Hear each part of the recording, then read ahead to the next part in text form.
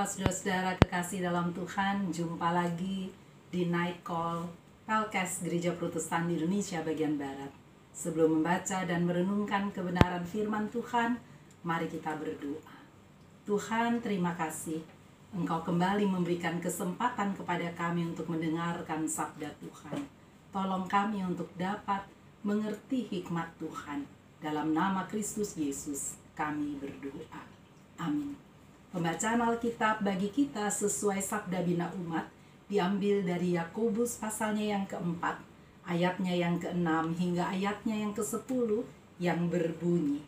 Tetapi kasih karunia yang dianugerahkannya kepada kita lebih besar daripada itu.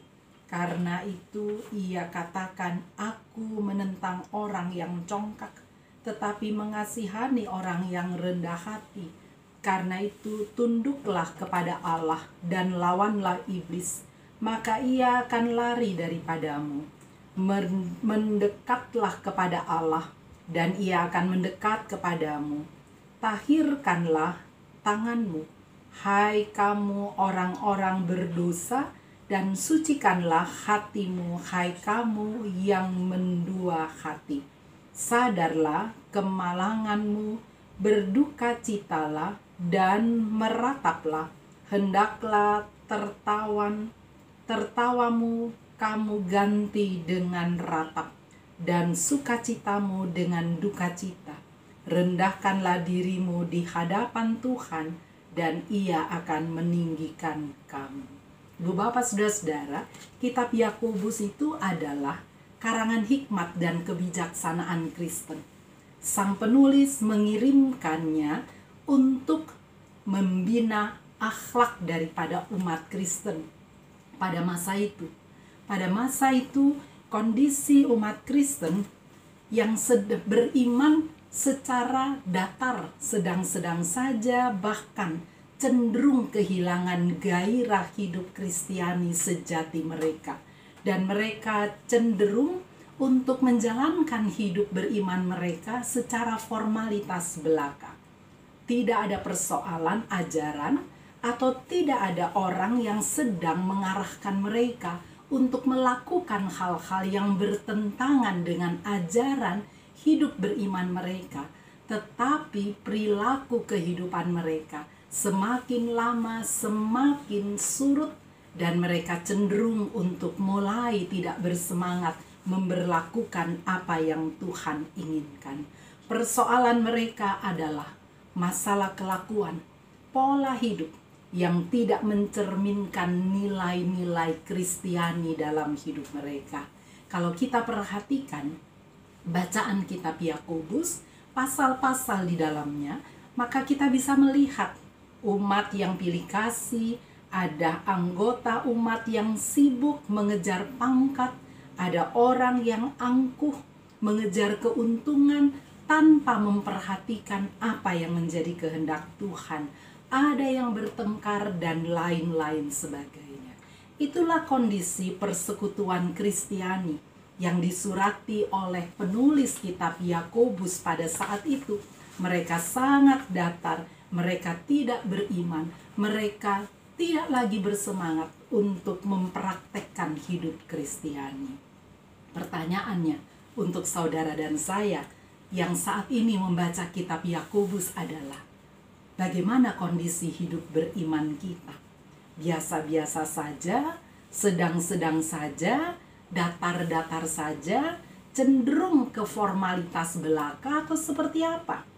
Sebelum hari ini berlalu, Ibu Bapak Saudara-saudara, ada baiknya kita mencoba untuk memeriksa diri kita dan memastikan bagaimana kondisi hidup beriman kita di hadapan Tuhan dan sesama kita.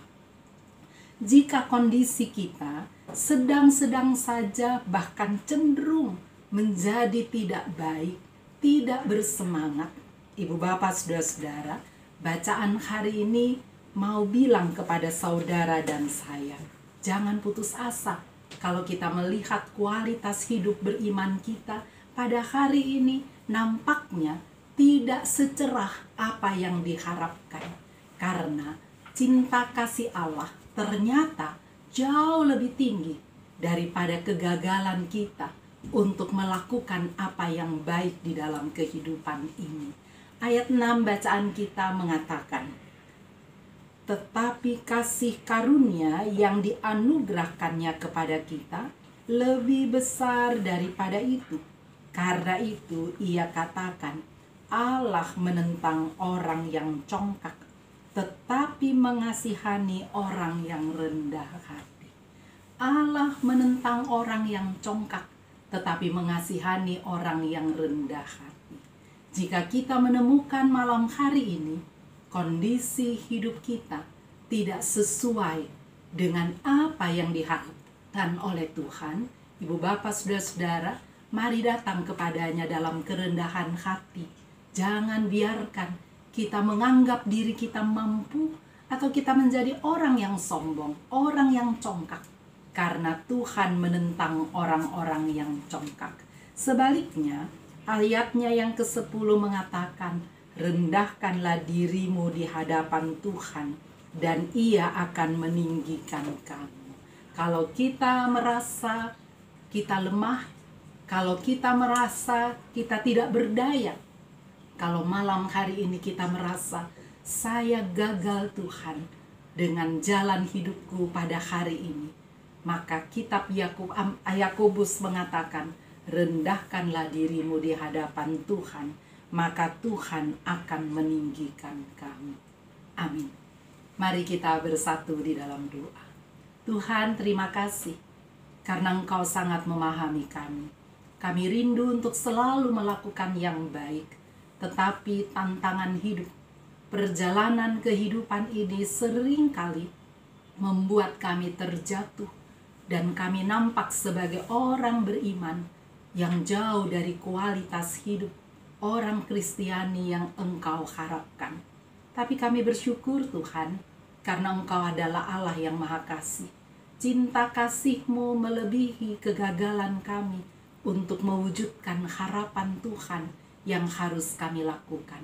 Hari ini dalam kerendahan hati, kami membawa kegagalan diri kami dan memohon kepadamu Tuhan bantu kami supaya esok pagi saat kami memulai aktivitas kami kami lebih mendekatkan diri kami kepada Tuhan supaya dalam kedekatan bersama dengan Allah kami semakin mampu untuk menata hidup dan menjalani kehidupan ini sesuai dengan harapan Tuhan kami menjadi berkat untuk orang lain Sebentar lagi kami akan beristirahat.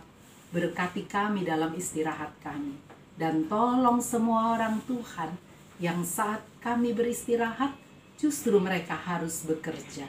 Bapa kuatkan mereka supaya dalam kekuatan Tuhan mereka bersemangat untuk melakukan tanggung jawab mereka. Berkatilah masyarakat dunia, berkatilah masyarakat Indonesia, Berkatilah seluruh warga GPIB Tuhan yang pada saat ini ada dalam kelemahan tubuh, secara khusus yang pada saat ini ada dalam pergumulan dengan COVID-19. Tuhan Yesus, Engkau kuatkan kami dan Engkau menolong kami supaya kami tetap bersemangat untuk melewati hari-hari kehidupan kami. Berkati mereka yang ada dalam garda terdepan supaya mereka boleh menjalankan tugas mereka dengan baik. Berkati bangsa dan negara kami, pemimpinan bangsa dan negara kami, beri hikmat kepada mereka, supaya mereka bisa mengarahkan kami dengan baik. Terpujilah Engkau Tuhan, dalam nama Kristus Yesus, kami berdoa. Amin.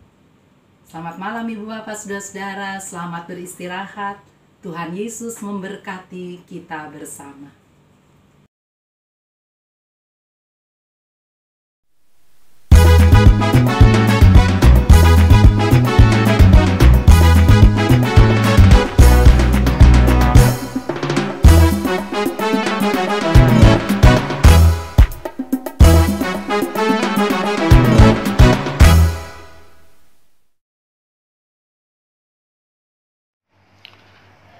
GPIB bergerak. Demikian moto yang diambil oleh Satgas GPIB Sinodal. kami sudah berbuat banyak menanggulangi dampak COVID-19. Namun, masih banyak juga yang membutuhkan. Karena itu kami menghimbau warga jemaat ataupun simpatisan untuk boleh berpartisipasi dalam penanggulangan dampak COVID-19 ini. Dengan segala sukacita partisipasi saudara-saudara kami sambut. Terima kasih Tuhan memberkati.